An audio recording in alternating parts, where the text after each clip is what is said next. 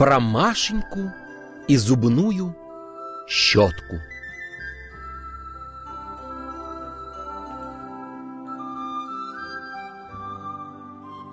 Пока Маша была маленькой, зубы она не чистила, и зубной щетки у нее не было.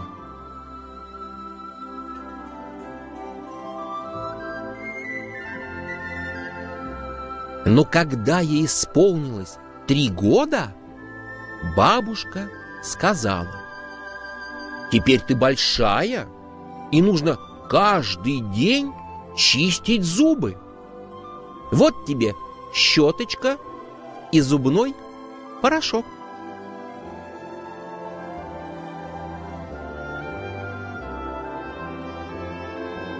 Ручка у щеточки была такая красивая, желтая, прозрачная, а порошок такой белый, что не успела бабушка и оглянуться, как Машенька окунула щетку в порошок и...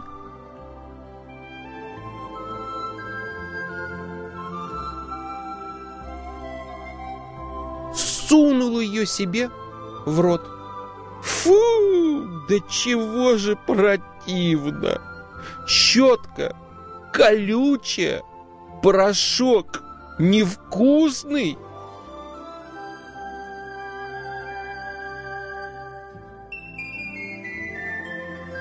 «Не хочу я чистить зубы!» — рассердилась Маша.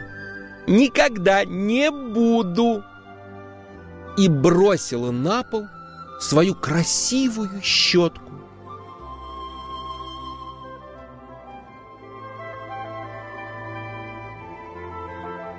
А дальше больше. И умываться Машенька вдруг не захотела, и причесывать себя не позволила. Вот какие пошли капризы.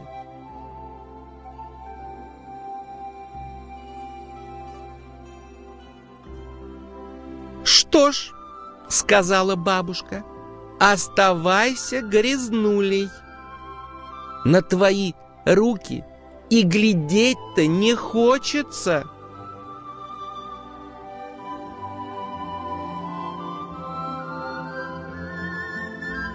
Бабушка ушла и даже дверь за собою закрыла. А Маша подумала, что руки все-таки придется вымыть, и кое-как намылила их.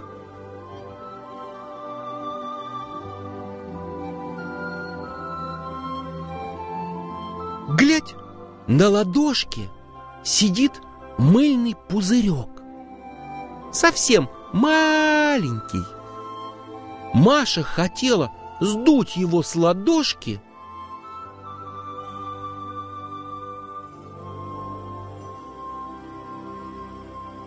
а он как пошел раздуваться!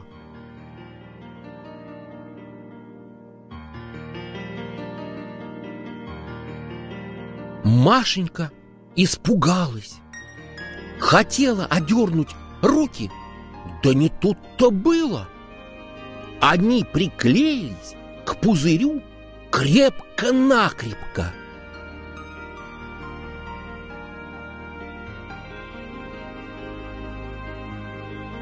Тут распахнулась дверь, поднялся сквозной ветер, подхватил пузырь, и он вместе с Машенькой вылетел в раскрытое окно.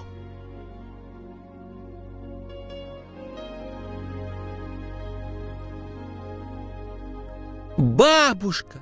Бабушка!» — кричала Машенька. Но бабушка не могла ее услышать. Мыльный пузырь поднялся над городом и летел прямо в облака.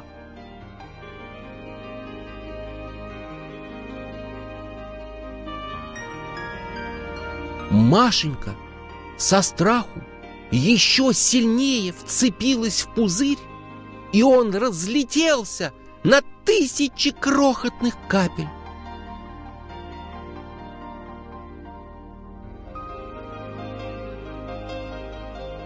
Маша кувырком полетела вниз и упала на что-то мягкое, пахнущее мятой.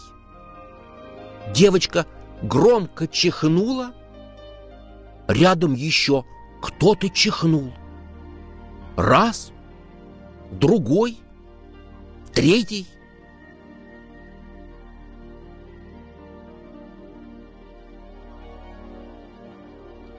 Машенька оглянулась и увидела свой гребешочек. «Откуда ты взялся?» — удивилась она. «Откуда? Откуда? Из твоего кармана выпал! Все из-за тебя!» И гребешок снова зачихал.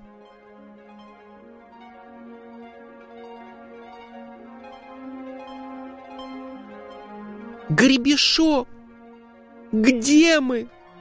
Испуганно спросила Машенька. «Не видишь разве? В пустыне зубного порошка!» «Не хотела причесываться и зубы чистить? Теперь сиди здесь до самой старости!»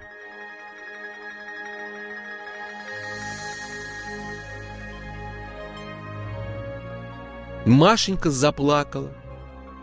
«Я домой хочу, к бабушке!» Гребешку жалко стало девочку. Он подумал и сказал. «Может пойти к зубной щетке? Она здесь королева!»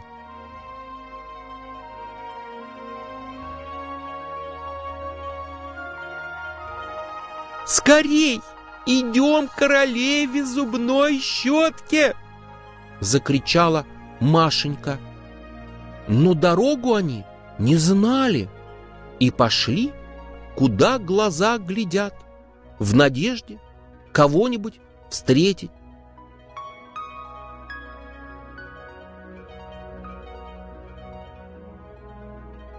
«Не плачь!» — крикнул радостным голосом гребешок.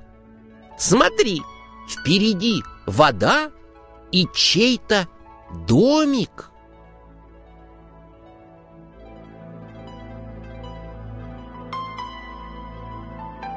Они вышли на берег реки. Вода в ней была перламутровая, а у берега покрыта пеной из мыльных пузырьков.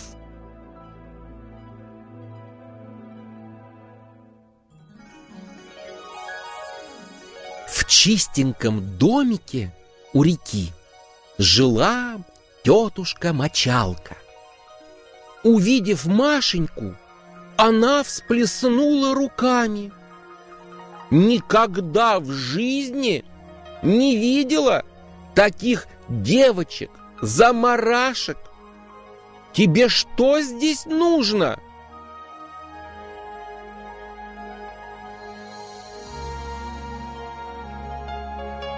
«Вы не знаете, как нам пройти королеве зубной щетки?» Вежливо спросила Машенька. «Дорога-то одна, через мой сад. Только такую грязнулю я туда не пущу. Сначала тебя надо вымыть.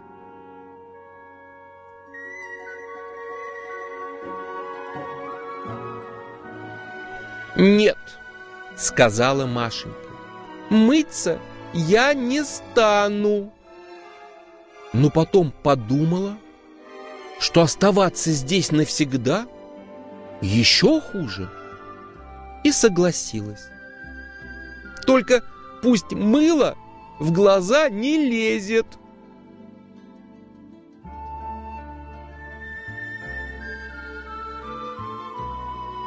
Тетушка-мочалка очень любила всех мыть. Она принесла из мыльной речки целых три ведра мыльной воды.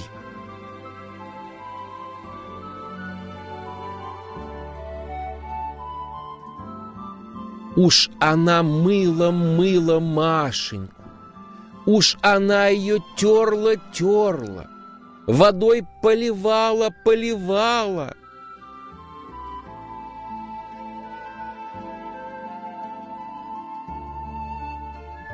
Вот какая чистенькая, да хорошенькая девочка получилась. Такую можно и в мой сад пустить.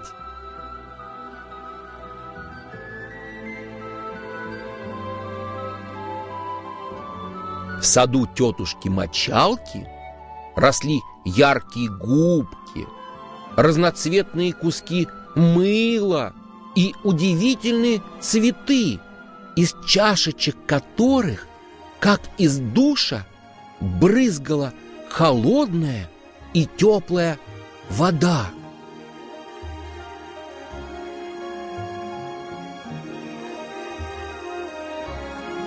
Тетушка-мочалка провела Машеньку через сад и показала на белую дорожку. Идите по ней прямо-прямо и придете к Гребешковому лесу. Там узнаете, как идти дальше.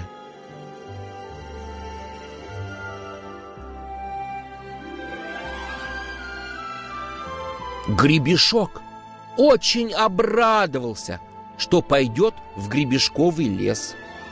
И, простившись с тетушкой-мочалкой, они побежали по белой дорожке.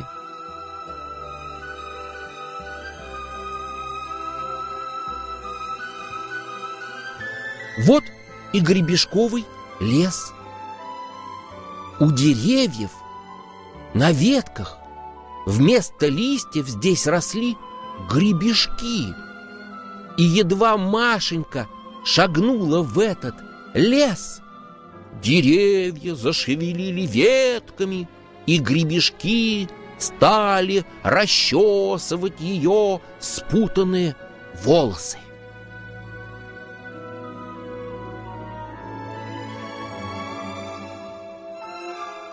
Сначала Машеньке было очень больно, но чем дальше она шла, тем легче становилась дорога, тем мягче прикасались листья-гребешки.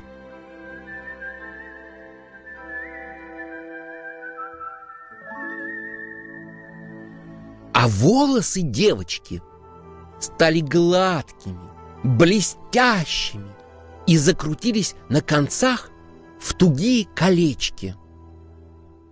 «Ну вот», — сказал гребешок, — «теперь тебе можно показаться королеве зубной щетки.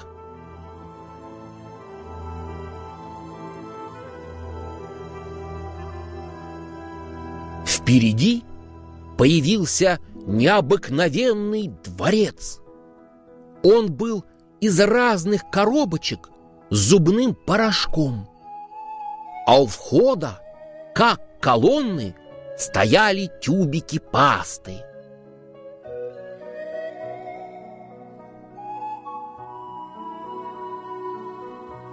По залам дворца разгуливало множество зубных щеток. Машенька даже испугалась, сколько их было.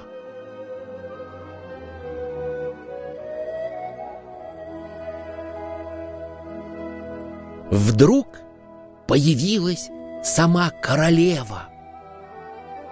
Маша сразу узнала ее. Это была самая красивая щетка, желтая, прозрачная. На ней была корона.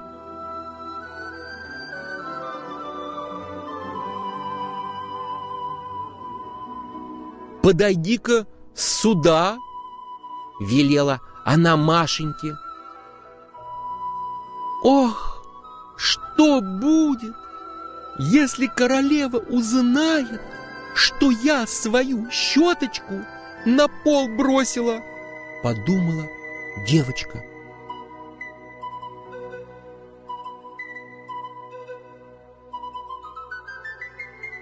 Но все-таки подошла. Будешь умываться, причесываться, зубы чистить? Строго спросила королева. Буду, прошептала Маша.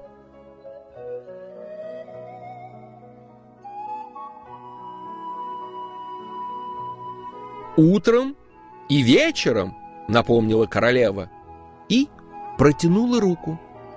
Возьми себе этот носовой платок. Спасибо, вежливо поблагодарила Машенька.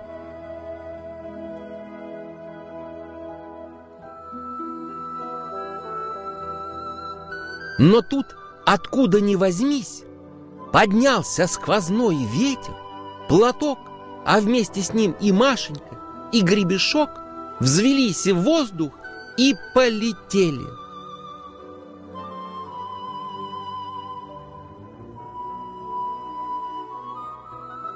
И не успела Машенька опомниться, как оказалось дома. Да чего же у меня большая и умная внучка! Сама причесалась, умылась, зубы почистила. Такую можно и в детский сад отдать, сказала бабушка.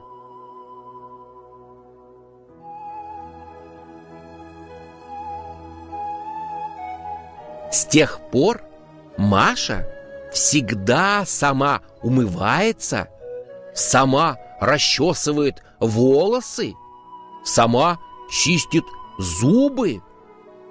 О своей зубной щеточке она каждый день говорит «С добрым утром» и «Спокойной ночи».